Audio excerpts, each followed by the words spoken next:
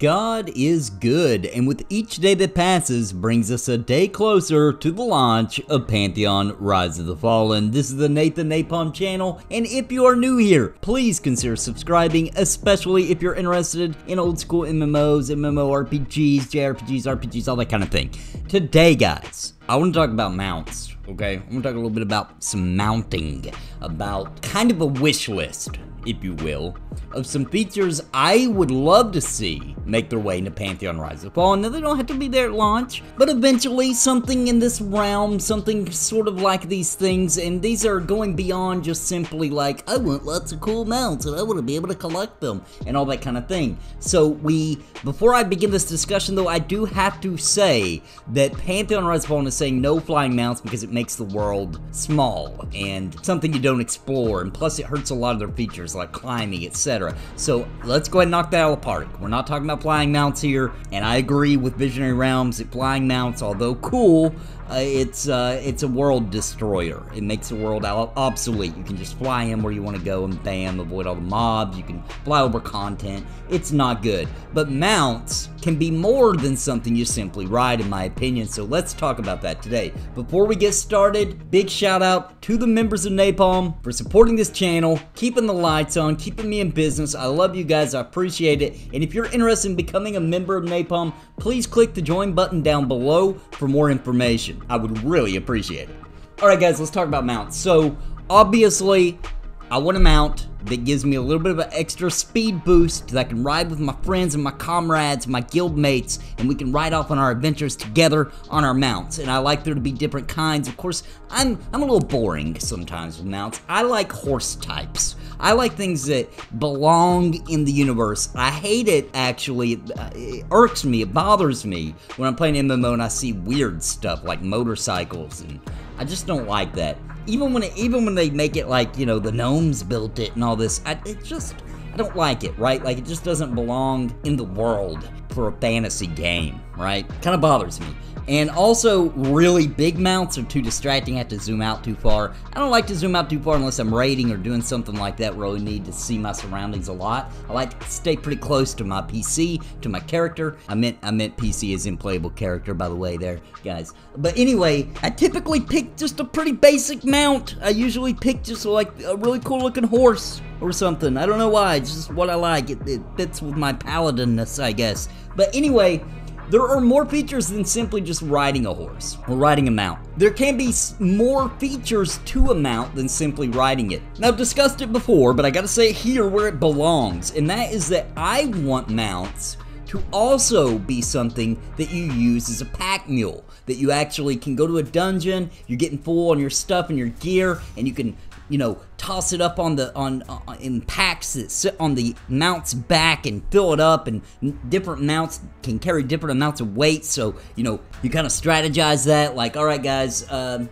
you know, if you got no weight on it, or or if it can hold your body weight and, and things, since everything has weight in Pantheon, then yeah, you can ride it as long as it can hold that amount of weight. But if you absolutely just fill it up with stuff and you uh, load it up with coin and all kinds of treasures and spoils because you've been in that dungeon for days, then you can't ride it then. You just walk alongside it, you kind of lead it back to town, but there would have been no other way for you to carry that much crap there. And I think that's a really cool feature that not many MMOs take advantage of. I know Ultima Online did. That's where I literally got the idea from because I love those days. I would bring my, my mount down and different mounts could carry different amounts of things and I'd bring them and load them up with gold and stuff and then walk them all the way back to the bank and unload them and then head back to the dungeon for some more. And I thought that was really addicting, really cool gameplay. I really enjoyed it. I thought it was awesome. And another really cool idea with mounts, and I can't believe I'm going to say this because this idea actually comes from an MMO I don't even like at all, and that's Guild Wars 2.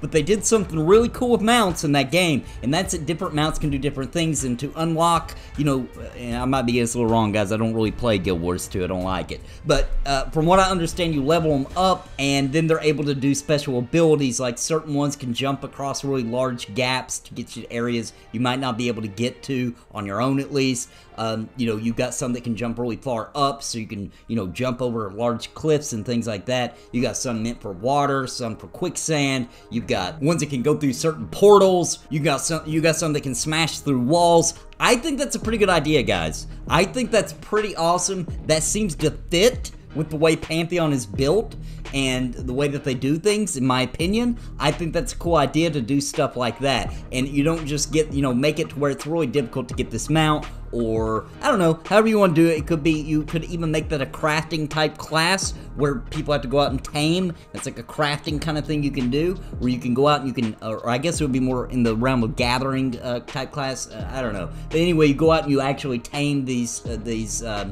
maybe they're mobs even, and and you have to defeat them, and then you can if somebody's skilled enough, they try to tame it right before you know get its health real low, kind of like catching a Pokemon. We're getting some crazy territory here, but you see what I'm saying? They could implement that in such a way, would be really cool. Uh, lots of options that could go with that, but I think that's a really great idea. It's something that Guild Wars 2 does, and I think it's a pretty cool idea, and it seems like that kind of fits with the kind of thing. And I, have heard Visionary Realms say, by the way, that mounts are going to be a little bit more than, you know, the average mount in an average MMO. So that's, these, these points are a little bit relevant. And you know what I really like, and I would love to see this happen, and and I don't know if you'll agree with me. This is pretty controversial. Uh, the next couple things I'm gonna talk about, but I would I enjoy it when your mount has to go to a specific place, like a stable, in order for it to actually not be out in the world, and it can actually be damaged and die. I know I'm a screwed up human being, but I think that adds another element and makes you really care about that mount a little more, and it's actually yours, and it's more meaningful to you, and you take better care of it, and you like people find safe places to park their horses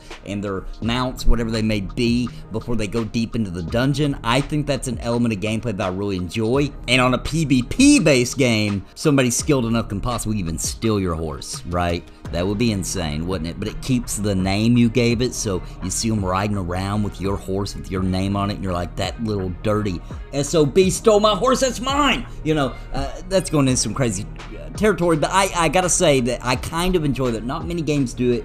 Ultima Online does it. Uh, I think Black Desert Online does it. A few games do it, and it's something I really, I really kind of like in this really screwed up kind of way. I think it's a, a pretty cool system. And here's another one that's not done very often. EverQuest 2 had it, Ultima Online had it. Mounted combat, man. I think it's cool. I like mounted combat. Maybe it's a little different. Maybe the abilities change a little bit depending on your weapon the, of choice, right? And how it works on the mount. But I like mounted combat, man. I thought that was I thought that was awesome in EverQuest 2. Is I could actually fight right there on my mount. Now some of the animations, at least back in the day, were really goofy and silly looking. Because you could literally in EverQuest 2 do all the same abilities. There were some where you like did a 360 spin AoE kind of attack and he would just his body would just kind of rotate on his hip all the way in a circle. It looked really ridiculous. But you know, if it was done in a more modern game, I would think that it would be very specific, like based on what weapon you have in your hand. Here's a few attacks you can do on your on your mount.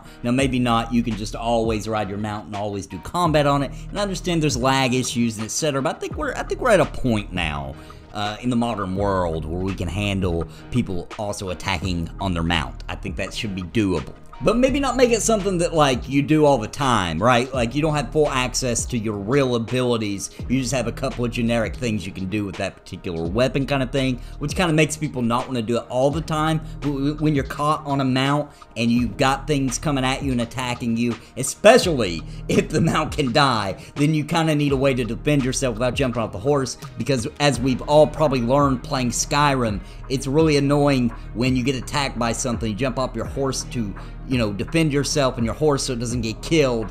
And they're just all like like the horse is a tank and somehow he's gathering all the threat and everything's attacking the horse and you can't get anything off of him and he gets killed even though you're trying to defend him. And it's just annoying and I don't like that. So being able to attack on the horse if the horse can die is almost mandatory for me. You gotta put that in the game. If the horse can take damage and die also, you know, just because a horse dies doesn't mean it's gone forever. There could be a process you have to go through to get it resurrected by a necromancer, perhaps, and then it's an undead horse. I mean, there's so many cool things you could do with that, right? And I know I'm going down crazy rabbit holes, so that's kind of the point of this video. And those are my favorite things. That's it. That's that's basically what I would like to see. If you're going to do something beyond just riding a mount, and different mounts at different speeds or something like that, which could get annoying.